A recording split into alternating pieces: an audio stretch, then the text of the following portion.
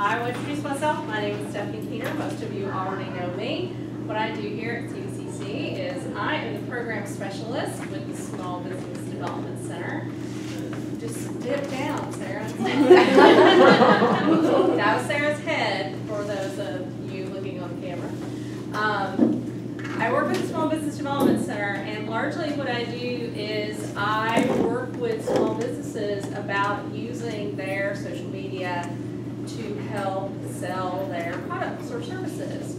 So I pretty often get asked to also talk to individuals about how they can use their social media to um, do the right thing with what they're they're trying to do online. So um, I put this together, and it's called Compose Your Social. So I hope that uh, you will enjoy the rest of the, uh, the conversation. So here's a person from about 1965.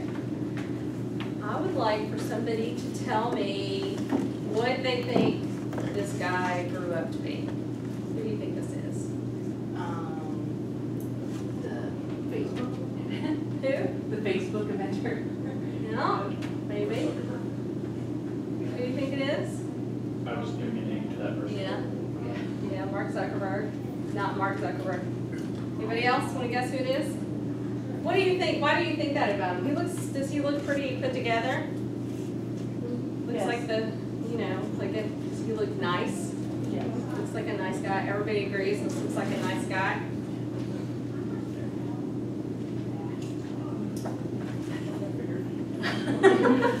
Yeah, that's Ted Bundy. Does everybody know who Ted Bundy is? Ted Bundy was one of our most prolific serial killers in the United States.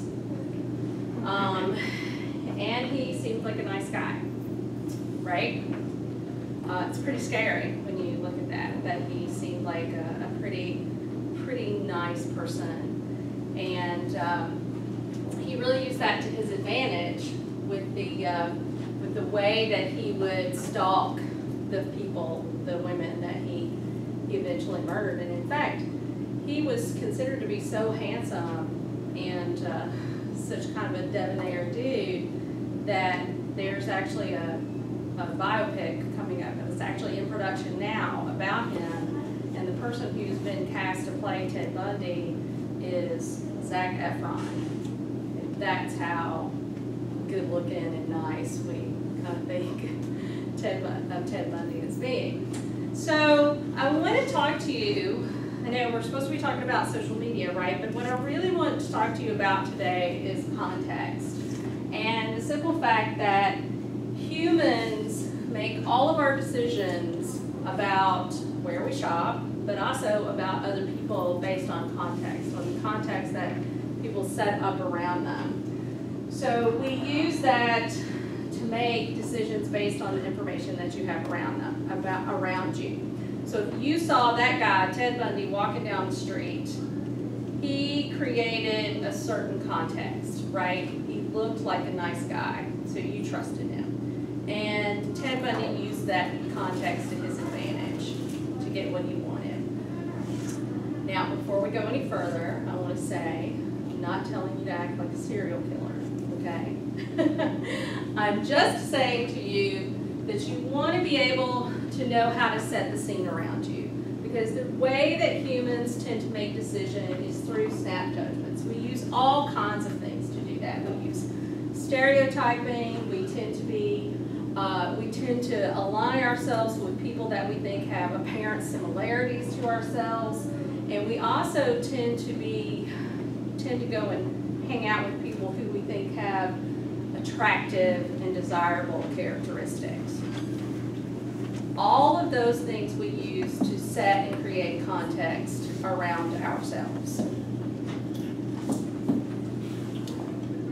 It's how we make decisions, and if you agree with that and understand that that is how we make decisions, there's really no agreeing, agreeing to it. That's just the simple fact. That's how we how we make decisions. Um, you can actually use that knowledge to create a social media presence that fits what your schools and what your employers are looking for when they go to your social media to check you out.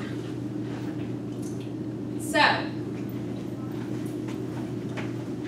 one of the things that we want to, one of the things that we want to remember as we're setting up our social that in real life, um, our behavior has consequences. And it kind of goes beyond that, right?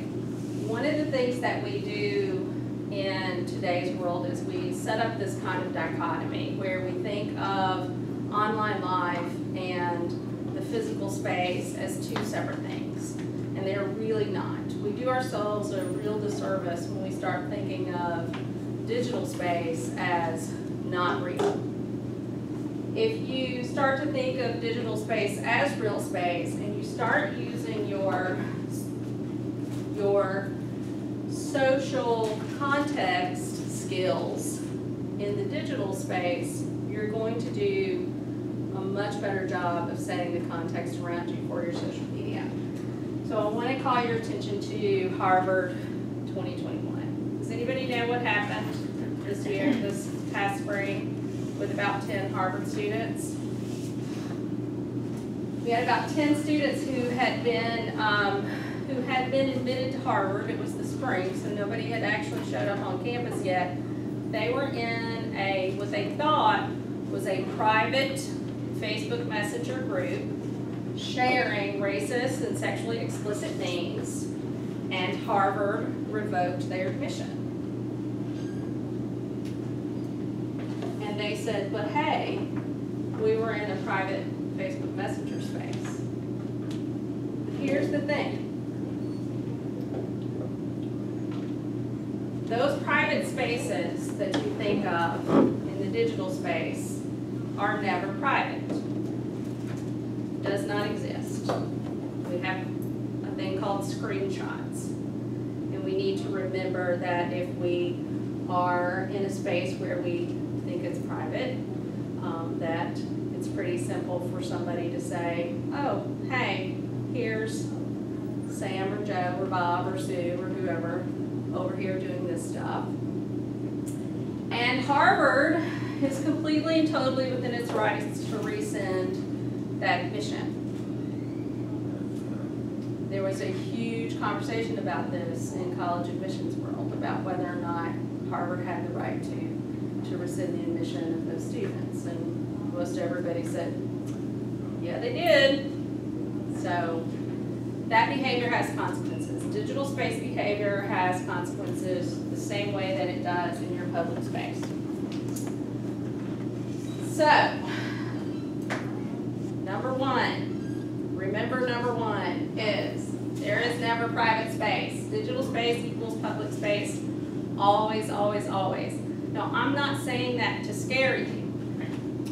I'm just saying that to remind you that this is all real life. Let's stop with the dichotomy. Physical space is real, online spaces is not real. It's all real. It's all real life.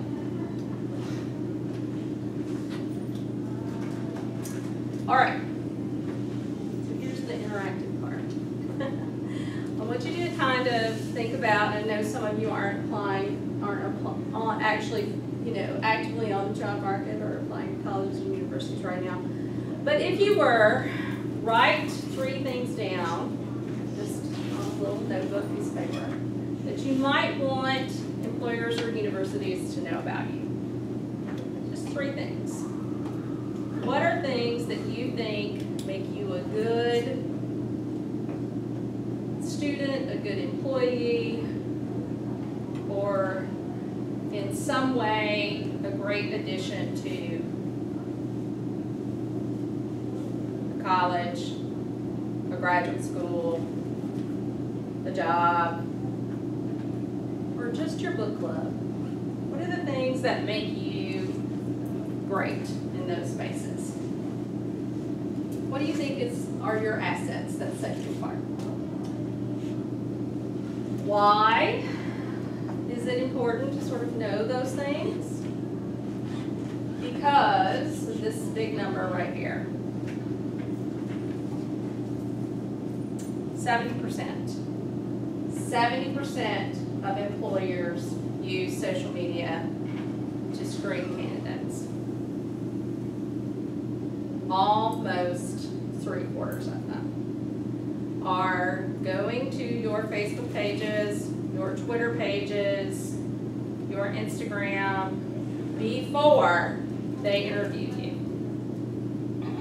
They don't do it after they interview you. They do this to kind of check you out, to screen for candidates.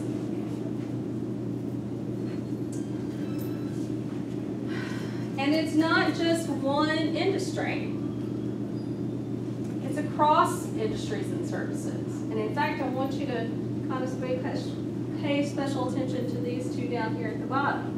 We kind of would expect IT folks to go to your Facebook or your Twitter or whatever and check that out, right? That's kind of a stereotype that we, we might have of something that they would do. So seventy-six percent of them are doing that, yes. But check out this bottom, these two on the bottom. In manufacturing, fifty-six percent of employers report that they are looking at job candidates' social media before they hire them. Fifty-six percent, more than half. And in professional and businesses services, also more than half, fifty-five percent.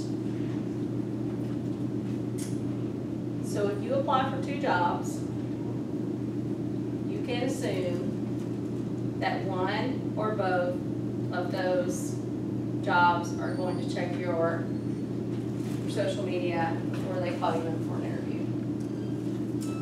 But don't be scared by that, because employers can actually be positively influenced by what they find. So how about this big number? Thirty-five percent. That's the number of college admission officers who check social media when they are evaluating a student's application. When they are evaluating a student's application. So when your little common app goes flying into wherever you're applying to, George Mason, Randolph College, doesn't matter. Thirty-five percent of college admissions folks are actually saying, oh, here's Sally Smith, let's go. Check out what Sally Smith's up to on the weekends. Is that good or bad?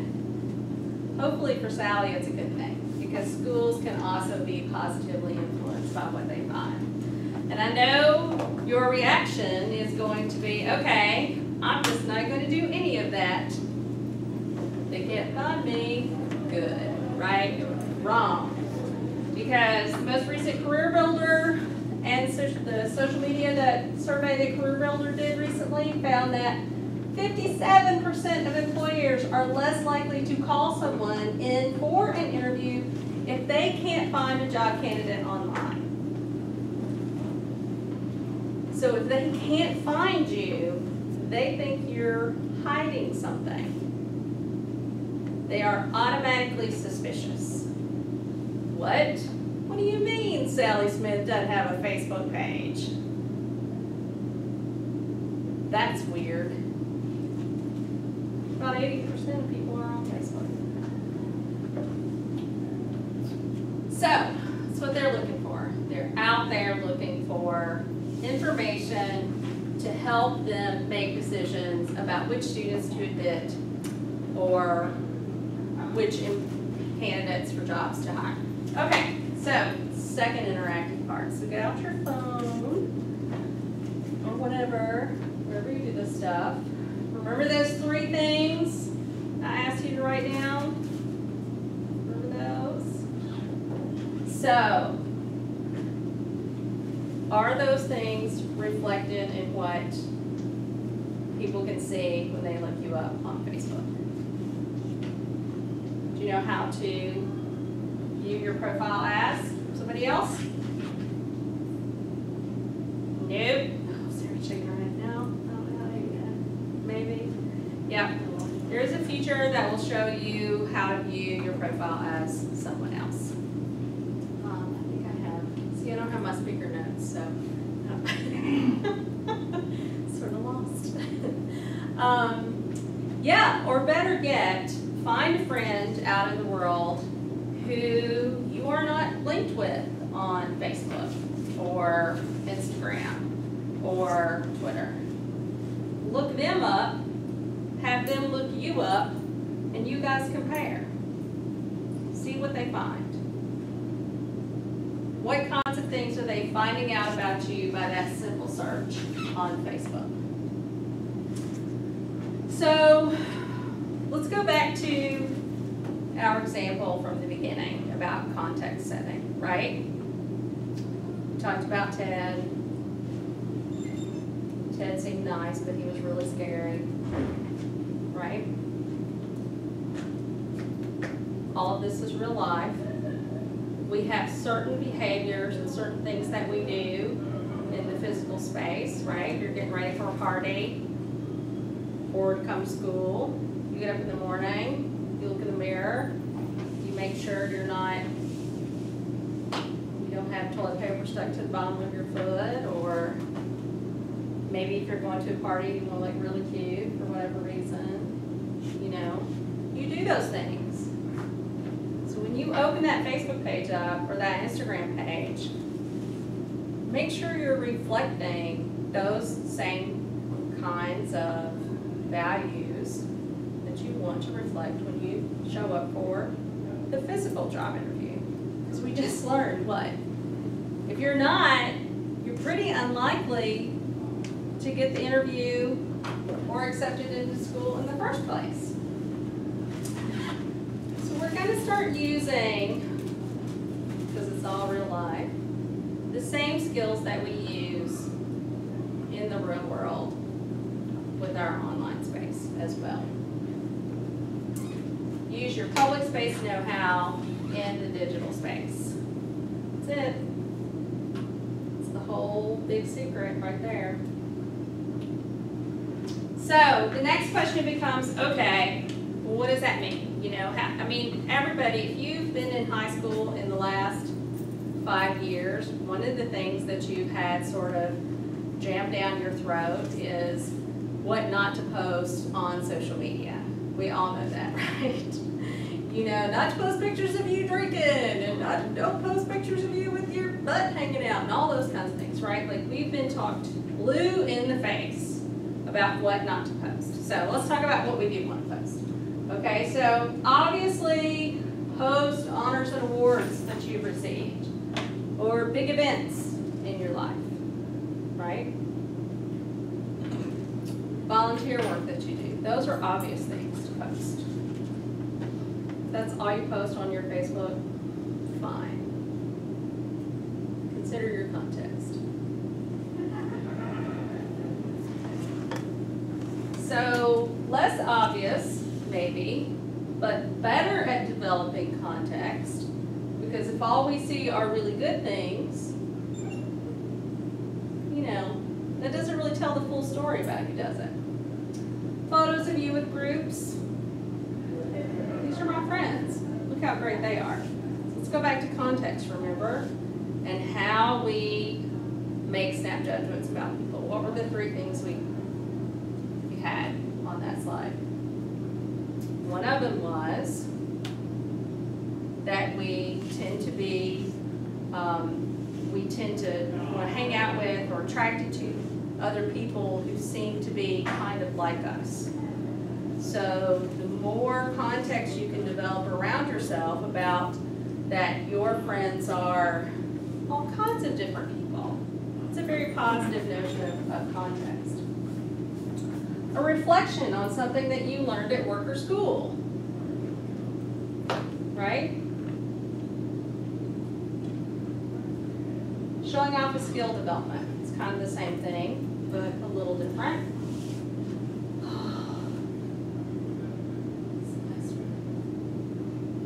Grammar and spelling.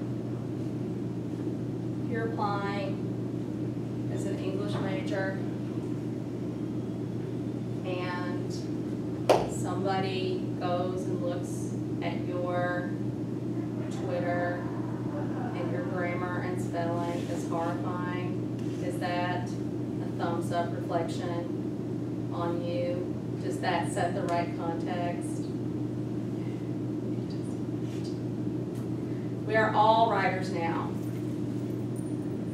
The better your grammar and spelling, the more precise your statements will be. So,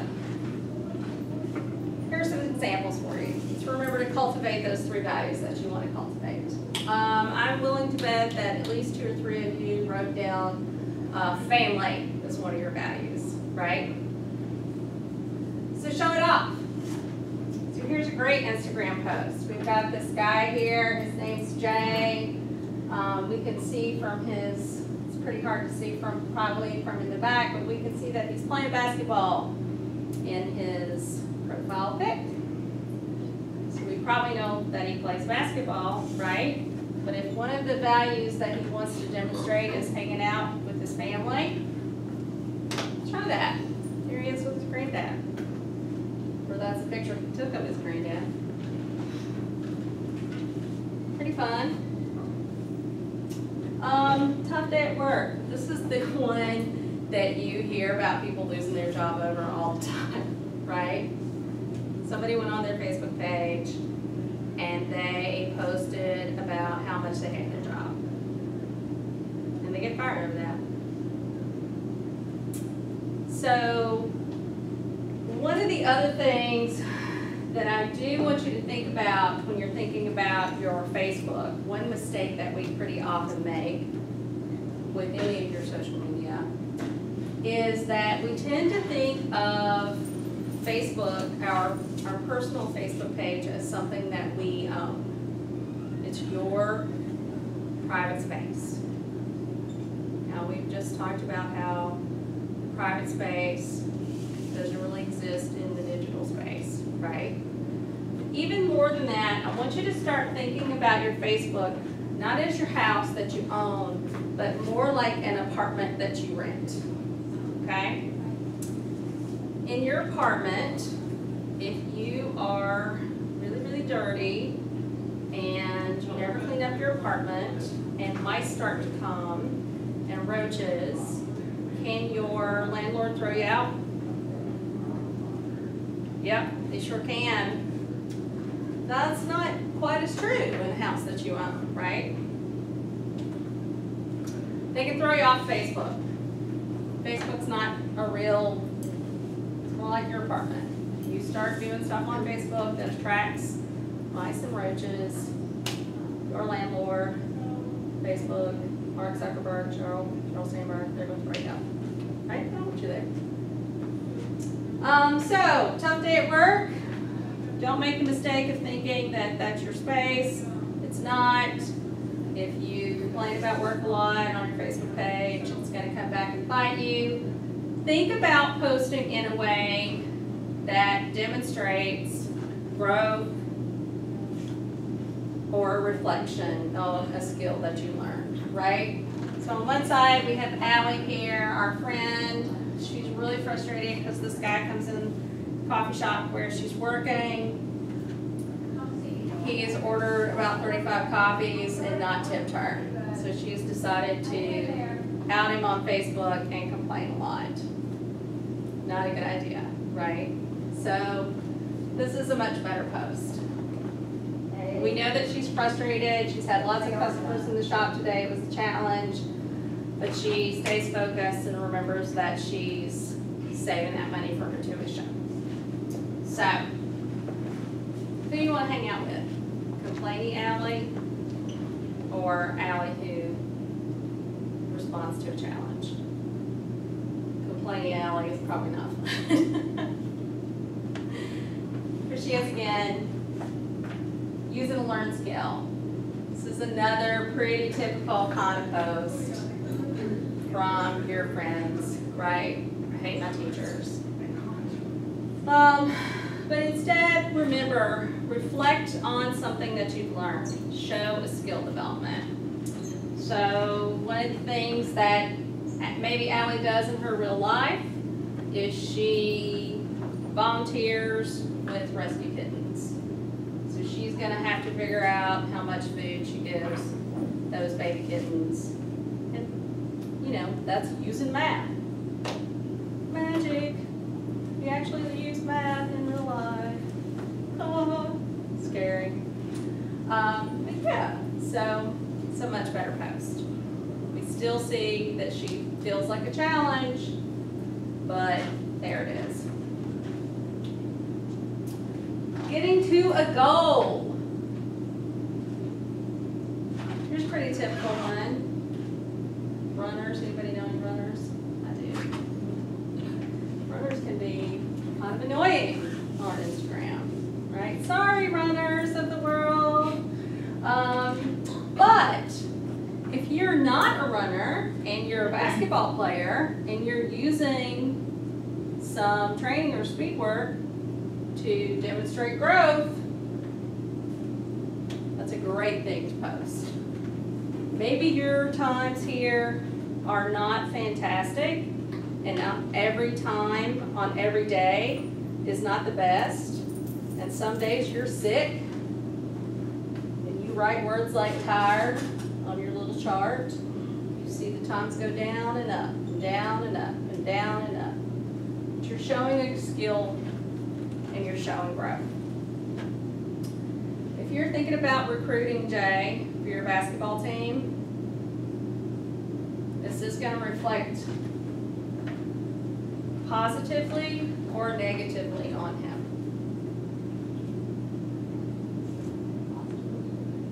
I think it's pretty positive. Because one of the things that coaches,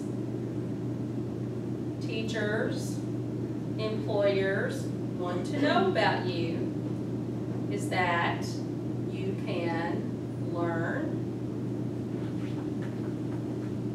have a setback, and get past it. It's a great thing to use your social media to demonstrate. Honesty. So, always, always, always reflect curiosity, growth, and courage on your social media. Let's specifically talk about Facebook now. Why use Facebook? I know that young people have this stereotype. We have this stereotype that people don't, young people don't use Facebook anymore. That is a complete lie. Um, 88% of 18 to 29 year olds have a Facebook profile. They tend to look at it once a day. They look at it for very specific reasons. They're pretty often looking at it to, for a couple of re- reasons actually. They're looking at it to see the news, and they're looking at it to see what local events are happening, sales, things like that in their in their area. Facebook is a great place to find out about what's going on around town. Young people absolutely use it to check that. More than eighty percent of them. So, if you're not posting on your Facebook, fine. Start. Start posting on your Facebook. Use it to your advantage. For the biggest reason is that is the first place that most people will look. About 80% of adults have Facebook pages. So if I'm a, an employer, reason that the first kind of social media that I'm going to check is Facebook, right? Yeah. Okay? So use your privacy settings, that's fine. But make sure you know how to use that view as on your profile. And it is right here. If you're on your desktop, um, you can go to these three little dots here and click it up and it'll say view as. And you can see how your Facebook page appears to somebody who just um, goes to Facebook and searches for you. And you're not friends or friends of friends there. You can see that. You can see what albums show up, whether or not they can see your profile pic, all of those kinds of things. So these are the things I want you to do on Facebook. I want you to consider whether or not that banner reflects those three values that I had you write down earlier.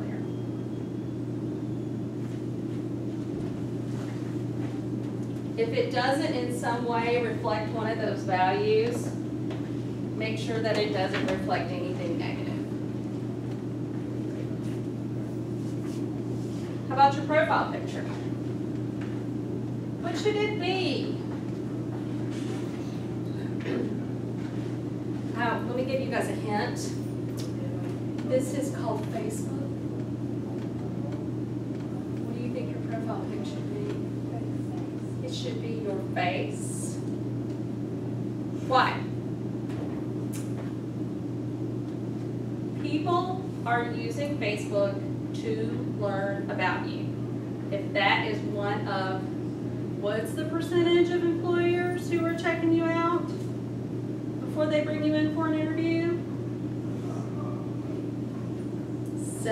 72, 73%. They want to know who they're looking at.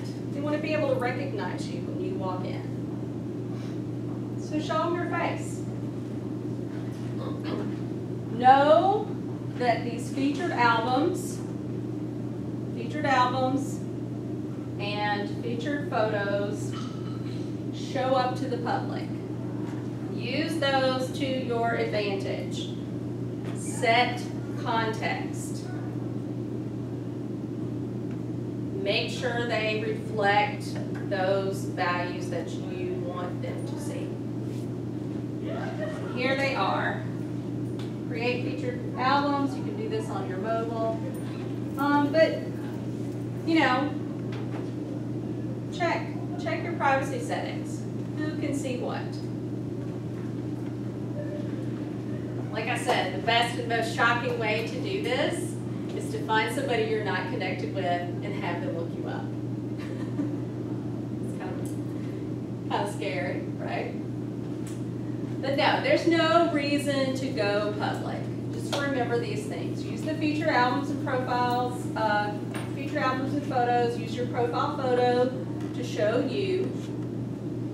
Does your banner reflect well? Occasionally post something that can be a public post. And if you're worried about your grandma oversharing, have that conversation with her. Little aside. Okay. I was just reading this um, really scary article about internet trolls. And uh, one of the things that I've felt for a long time is that we're really, I said earlier, we're really doing ourselves culturally a disservice as we're thinking about this dichotomy that this isn't real life, that digital space isn't real life, it is real life, start treating it that way. Um, but we've kind of done a little skip over a group that is the largest, fastest growing group on Facebook, which is ages 55 plus. We aren't talking about this very issue. And in this scary, scary article I was reading about internet trolls, who thinks internet trolls are teenagers? They are not. They generally are at least 30 years old. There's a big bunch of them who are much older than that. It's not kids. Not kids who are running the internet, people. It's old.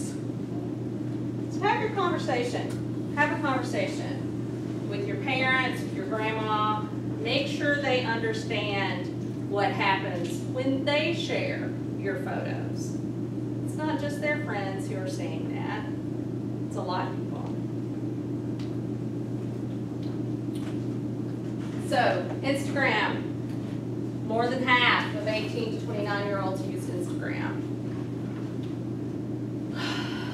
One of the way, way reasons that you really want to use Instagram is because a lot of schools are starting to use it to reach out to current and potential students. So it's a great way to keep in conversation with your school.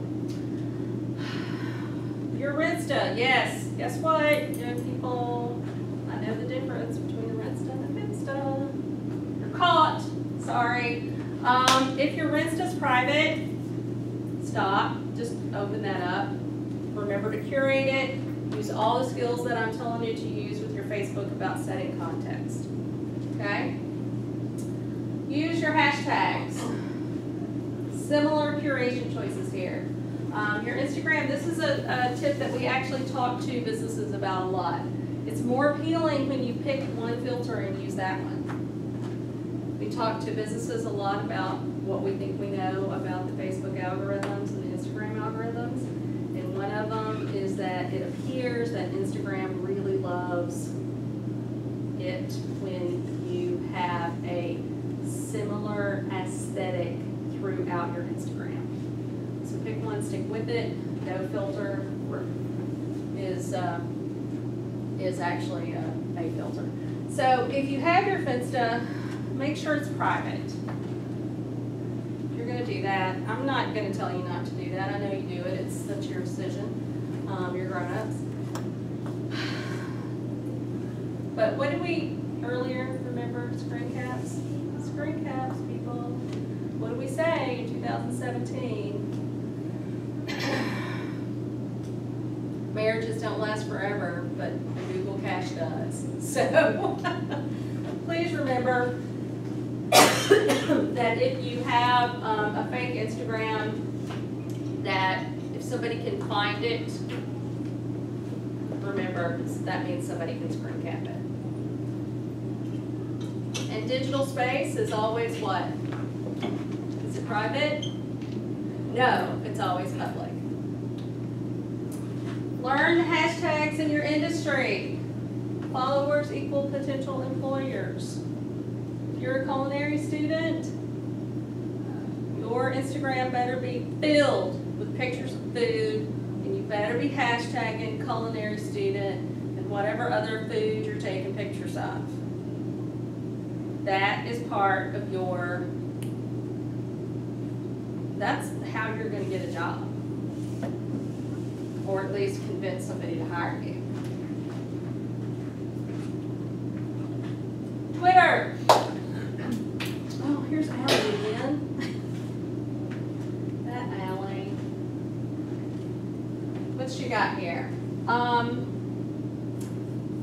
she's got a photo of some baby kittens. We know Allie is cat obsessed.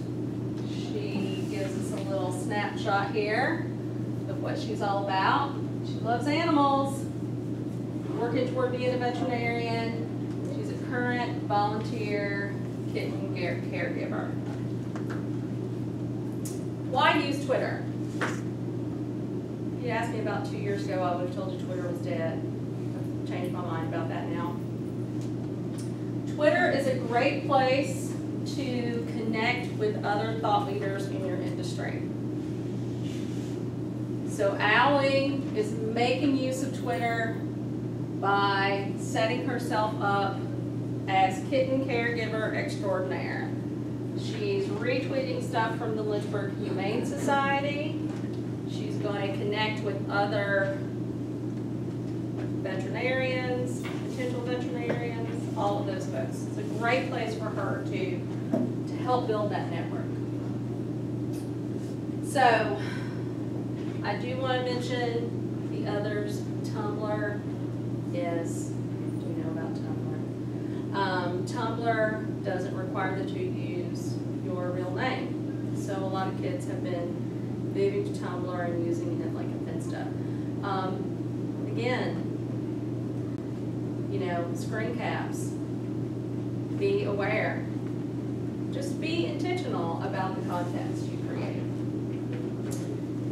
you want to be a veterinarian, do what Allie's doing. She's building that context as somebody who cares about kittens and animals.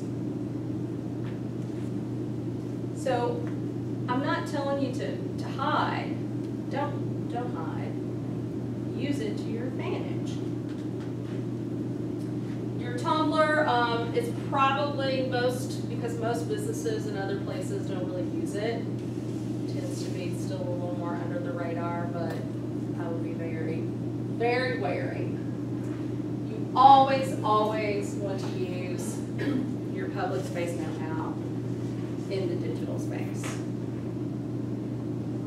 You don't walk into parties and start shouting about politics, right? Why would you do that on Facebook? Grandma does that, right? To stop. Have that conversation with your grandma. It's all real life. It's real confusing sometimes. Like the other day when I realized I had to save out down as my Bitmoji. Not planned. Um, it's scary.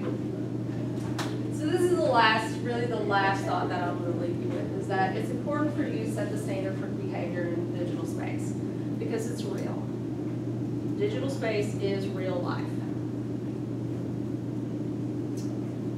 So make sure that you treat it as such. Just like in, in the public space, if you are, you know, if you're applying to Harvard and you're out tacking up signs down the street that are racist or sexually explicit, they're gonna say, hey, you can't do that. That is exactly what those students did in that that they private. So there were consequences for that, because it's real. Okay? Any specific questions before we go? I Actually started a Facebook page, um, probably do some others as well, called Compose Your Social. That's my real cat. Um, so it's Compose Your Social on Facebook, so it's, it's really a great place where, that I'm actually using just to sort of, um, file away all these articles that we're talking about. Yes? Um, I was just surprised they didn't use like linked, isn't that very popular for? For LinkedIn? Yeah. Yeah, it is really popular. Um, and it's a great space to kind of like Twitter to develop yourself as an expert. It is absolutely a place that employers of a certain kind will check. And it's a great place to kind of keep and file your resume. Uh, it, it's got a lot of really wonderful features, particularly if you're um, a kind of a business to business sort of person. So if you're a, a consultant or um, you're a business that's really out there helping other businesses do their stuff, it's two thumbs up there. If you are a culinary student, and I'll just use culinary students again as an example, you're gonna get a lot more reaction on a, a platform like Instagram than you probably are on LinkedIn. LinkedIn is super writer heavy these days, and I don't mean like professional writers as writer heavy. I mean it's it's a place where you're going to sit down and really reflect and, and put a lot of words out there. But if you're still in that, if you, not still, but if you are in a space, and I think food is a really wonderful example of that, where that visual piece is much more impactful than anything else, then think about one of the other platforms, really focusing on one of the other platforms. But no, I, I mean, just because I didn't talk about LinkedIn doesn't mean that you shouldn't use it. You should absolutely use it. I mean, the real focus today is about making sure that the stuff you use all the time is, is okay too, so.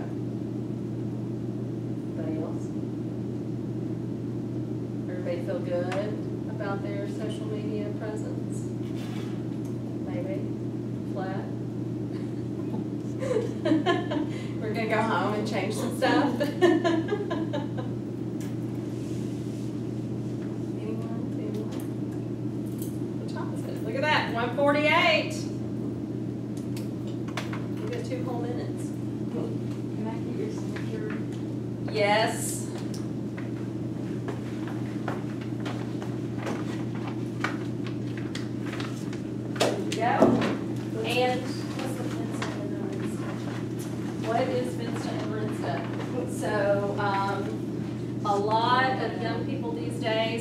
different Instagrams. Their fake one is their Finsta, it's the one under their fake name, and their Insta is their real one. So, What's the purpose of it? to hide from their mom and daddy.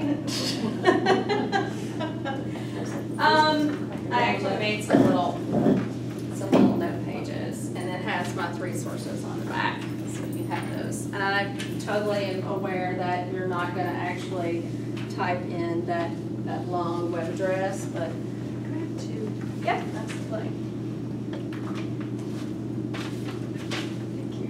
Just so you know where to go, um, there you go. Um, yeah, you know, Instagram is still, you know, Instagram is owned by Facebook, uh, but they don't have the real name policy for personal profiles the way that, that Facebook does on paper. So on Instagram, you can be whatever, you know, make up a name, Big Doggy forty-two, who knows? Um, you know, and you can kind of keep your, your real name off of it. So, uh, plenty of, plenty of folks have a Finsta account that they use, and, s- uh, you know, I don't know, I said kids to have their mom and dad, but it's really not just kids, it's plenty of, of uh, grown adults who do this as well.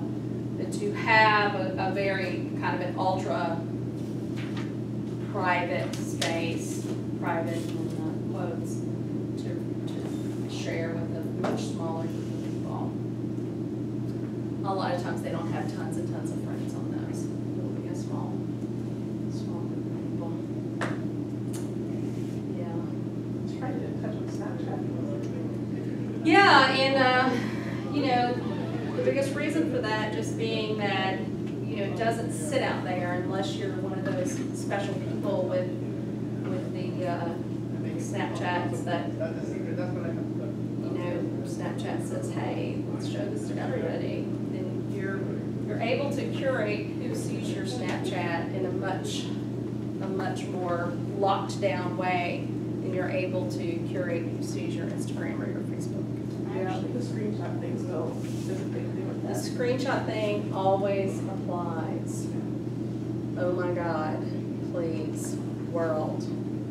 You know, I, I mean, I just, I cannot stress this idea enough that the digital space is, is never four walls. So, and, and that's just, I think that's a cultural shift, you know, I mean, I could sit here and talk to you all day about how I, I think that that is a, you know, that's just a thing that we have to learn. The internet is, is the Wild West. We've only been doing this about twenty years, so we gotta figure it out. It took us a really long time, and we're still figuring out, you know, a lot of our, still figuring out America, you know? It's gonna take us a while to figure out the internet and how to behave there, so, so, yeah. I don't even use like Instagram. Yeah. Like I stopped using that a long time ago. What is your major? What's your major? Facebook. Your major is Facebook? No, I mean- That's my major. That is awesome. Where do you go to school? I met, uh, not you met, but the thing I use. Use most, you mostly use Facebook, Yeah. yeah. But my major's Yeah. Yeah, um, actually, that's, that's a really good example of an industry that's, that's doing a lot more with hashtags as education. Um, there are a lot of teachers who are connected over really, you know, far spaces because they're, they're using hashtags in their industry. Maybe they're doing, developing lesson plans in, in a certain, about, you know, math or something, and they're able to, s- click on those hashtags and see how people are using something like that, so. That wasn't the best explanation, but, yeah. Anyway, y'all don't have to hang around here and